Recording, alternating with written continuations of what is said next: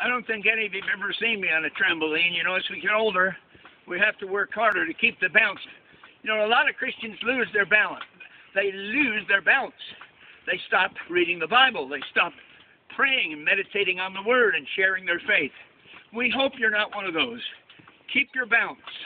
Let us send you some books that'll help you, woo, maintain your balance for Jesus. Hallelujah.